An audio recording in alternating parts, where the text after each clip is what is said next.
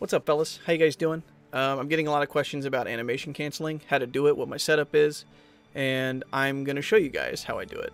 Um, this is for PC only, so sorry console players, this doesn't apply to you. So animation canceling is literally what it sounds like. You're canceling an animation so that allows you to do faster and more animations. This can be applied with every tool in the game and even weapons, with the exception of the fishing rod don't do it. Now, the best way for me to display animation canceling is visually, so let me go ahead and show you guys how I do it and what it looks like. Alright, so we're outside, we're to walk up to this tree over here, and this is the normal way to cut the tree down. Just regular action button, pretty boring, pretty slow, nothing crazy. Now we're to walk up to this tree, and this is what it looks like when you animation cancel. Super fast. Boom. Way faster, way quicker, way cooler. The ladies love it. This is super slow.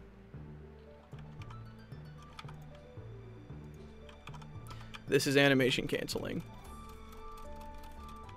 So as you can see, it's way faster than normal. It saves a lot of time. You look cool, super fly, style points.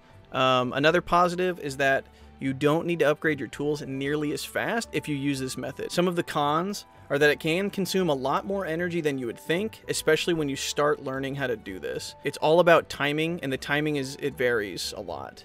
Every tool in the game has different animation canceling timing, and that can be really difficult to learn, and I mess up constantly. It's really hard to describe without trying it yourself. So the buttons that need to be pressed to activate the animation cancel are right shift, R, and delete all at the same time. All three of those buttons need to be pressed after every swing or every watering or whatever. Don't try this with fishing, by the way. Just don't. The best way to hit all three of those buttons, right shift, R, and delete at the same time after every swing, is by using something called a macro.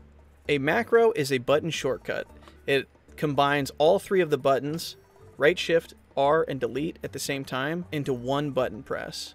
Sweet, awesome, how convenient. That'll save you a lot of wear and tear over over time because all you have to do is hit one button instead of three, and you have to do this after every animation. So every swing you have to hit the, the macro. So what I do is I come over to my Logitech gaming software on the mouse, I click the button, where the, the macro button, I hit edit, it goes in there and it shows me right shift, uh, delete plus R. And you can see right there that the three button pushes are right there. And instead of having to do the weird thing on my keyboard where I hit all three of those after every single animation swing, it's all nifty bundled together in one button, which is on the side of my mouse. Uh, that's it. Pretty simple. You just have to do it, jump in, learn how to do it uh, by practice. It's kind of hard to describe. It's literally a feel thing, kind of like swimming, sort of. Hopefully, this was helpful. If you guys have any comments, uh, concerns, analogies, whatever, uh, feel free to drop them below. That's it. Thanks for watching.